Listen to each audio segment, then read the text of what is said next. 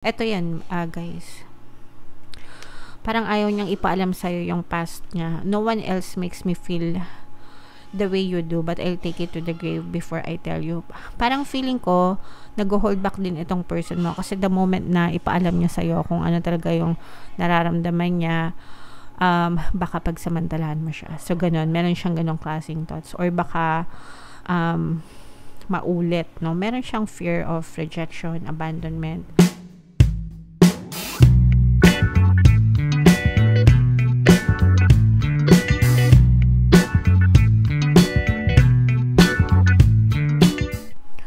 Hello guys, hello Virgo. Welcome back to Pinay Pixie Tarot. Ang pamagat ng episode natin for tonight is monthly love scope para ngayong June para sa Virgo, Sun, Moon, Rising, Sign, and Venus. General reading lang guys. Pwede mag-resonate, pwedeng hindi. Combination ng positive and negative energy. Pwedeng ma-pick up yung energy nyo guys. Pwedeng ma-pick up yung energy ng person nyo. Roles can be reversed mga kapiksi if in case hindi kayo naka-resonate dito.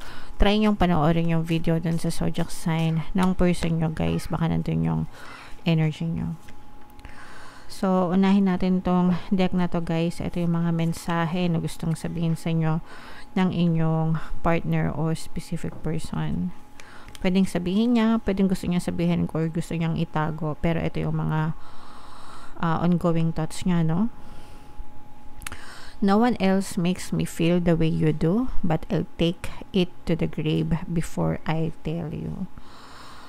Um, So, ibig sabihin nito mga kapiksi, parang hindi niya sinasabi sa'yo, hindi niya inaamin sa'yo kung ano yung totoong nararamdaman niya sa'yo. Sabi niya nga, I'll take it to the grave before I tell you. So, uh, he or she would rather keep, keep this to themselves mga kapiksi, no? Itatago niya ito kaysa sa malaman niyo pa mga kapiksi. Kung ano man yung totoong nararamdaman niya, um, either masaya or hindi masaya, um, sa siya lang yung nakakaalam nun uh, mga kapiksi okay? And with these two message I cannot give what you want or deserve. I'm sorry. I know that you may not feel for me as I feel for you. So parang merong imbalance mga kapiksi um, parang feeling ng person mo parang feeling ko guys for some of you merong insecurities dito pwedeng insecure yung person mo, meron siyang pwedeng in- inferior, guys. May inferiority uh, complex na parang feeling niya palaging na natataasan mo siya, parang feeling niya uh, palagi siyang underdog, uh, feeling niya hindi niya he or she is not good enough for you, hindi siya enough para sa, sa relationship. Um, and hindi niya kayang ibigay yung mga luho mo or kung ano yung feeling niya na dapat uh, deserve mo mga kapiksi. And ka- dahil dito, parang feeling niya palaging kulang, no? Even dun sa emotions, even dun sa uh, feelings, uh, mga kapiksi. So, parang may imbalance dito, guys. Hindi ko naman masabing unrequited, mga kapiksi. I don't feel like this is uh, one-sided love. Pero, I sense a lot of insecurities here, as in insecure talaga. Uh, to the max, uh, Virgo. Okay?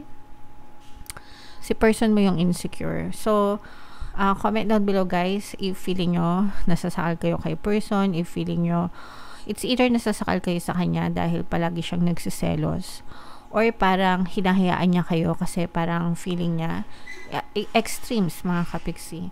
Pwedeng hinahayaan niya kayo kasi feeling niya hindi, hanggang ganun lang yung kaya niyang uh, ibigay sa'yo yung freedom mo. Okay? Alright So, comment down below, Virgo, if feeling nyo naka-resonate kayo dyan. Tingnan natin yung um, love energy nyo, Virgo. Shuffle ko to guys. Habang sinashuffle ko to, panoorin nyo muna yung video natin regarding sa ating paano mag-manifest ng abundance video course. Kapiksi, sawa ka na ba sa mga struggles at hirap sa buhay mo? Masipag ka ba at masikap sa buhay ngunit hindi ka pa rin umaasenso?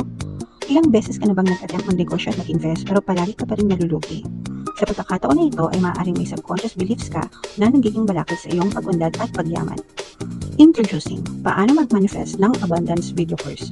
Dito ay matututunan mo ma-overcome ang mga balakid mo para tuluyan ka ng umunlad, umasenso, sumagana, maging matagumpay, successful at maswerte sa iyong kabuhayan, pera, trabaho, negosyo sa labi at kaperahan ng bonggang-bongga. Dali, mag-send na ng email sa pinoypixitaro at gmail.com at simulan na ang iyong pagyaman ngayon. Alright. So, sa lahat ng gusto mag-avail ng course, guys, may promo tayo until May 31. Magbibigay ako ng 1 free pampaswerte subliminal o kaya naman ay 200 pesos na discount until May 31, mga kapiksi. Kaya mag-avail na kayo. And meron tayong bagong course, mga kapiksi, pampawala ng kabit, uh, pampawala ng third party, and magkaroon ng harmonious na relationship. So, if in case na meron kayong third party situation sa inyong mga uh, relasyon, pwede kayo mag-avail niyan. Ongoing promo tayo, guys. Um, intro sale tayo, 30% discount sa lahat na mag-avail ng course. Mag-avail na kayo, guys. Sobrang laki ng discount. Alright, so Virgo, kayo ay represent ng King of Pents sa ating spread, mga kapigsi. Eto guys, um, parang itong person mo, meron ditong presence ng water sign guys, Cancer, Pisces, Scorpio. Ay, kagaya nga nung sinabi ko sa inyo guys, parang meron tong infer- inferior, no? Uh, insecurities mga kapigsi. And ang paraan niya para uh, matabunan yung kanyang mga insecurities is yung um, pagtatrabaho ng mabuti. So, kung mapapansin nyo, comment down below guys, if napapansin nyo na yung partner nyo is masyadong masipag sa trabaho, masyadong busy sa trabaho, masyadong uh, nagsisikap, no? Um, nagsisikap sa paghahanap buhay para kumita, parang feeling nyo yun yung priority niya. That is because ayaw niya na uh, feeling niya maliit siya, no? Kasi nga meron siyang inferiority complex mga kapiksi na parang feeling niya uh, he or she has to keep up with you. Especially kung medyo mataas yung status mo or mataas yung antas mo, ganyan, parang feeling niya hindi kayo magka-level and parang kailangan niyang makahabol sa'yo or kailangan niyang taasan ka in order for them na hindi makaramdam ng ganong klaseng insecurities uh, mga kapigsi. Alright? So, ganon guys. Ganon yung uh, nararamdaman ng person mo. And meron din itong trauma guys sa kanyang past na relationship. Kumbaga parang uh, kaya siya nagkaroon ng inferiority complexes. Baka sa kanyang past relationship is pwedeng pinagpalit siya. Pinagpalit siya sa mas mapera, pinagpalit siya sa mas mayaman, pinagpalit siya sa mas meron, no?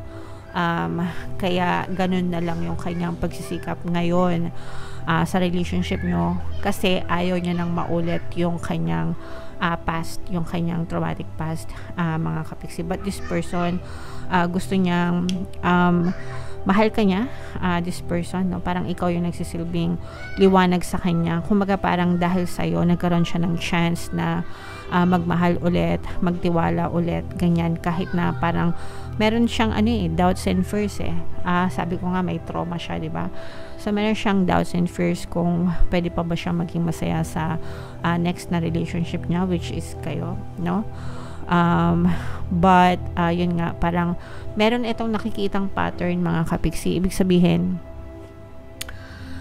um, pwedeng nakikita niya sa'yo or sa relationship nyo yung mga pattern na the same dun sa kanyang previous relationship. Kaya kung napapansin nyo na natatahimik itong uh, person mo, that is because uh, nag-iisip siya uh, mga kapigsi. Okay? And again, hard work. Parang kailangan niyang trabahuhin yung sarili niya and he or she has to move on dun sa kanyang traumatic past, mga kapiksi, para maging stable siya.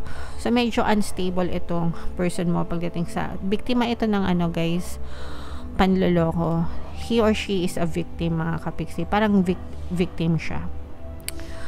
And kay, parang kayo yung sumasalo nung mga parang very unstable yung emotion nito kasi mga kapiksi. Pwedeng hindi niya sinasabi sa'yo. So, um, if ever man na parang feeling nyo very aloof, aloof no? Parang masikreto, malihim, ganyan. Ito yan, uh, guys. Parang ayaw niyang ipaalam sa'yo yung past niya. No one else makes me feel the way you do but I'll take it to the grave before I tell you.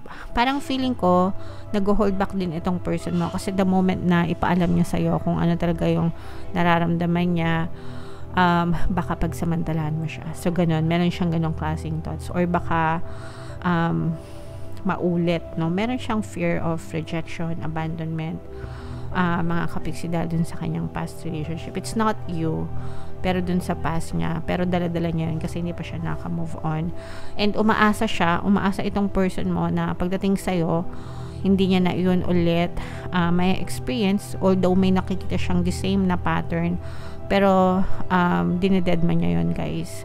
Sinusubukan niyang i-brush off.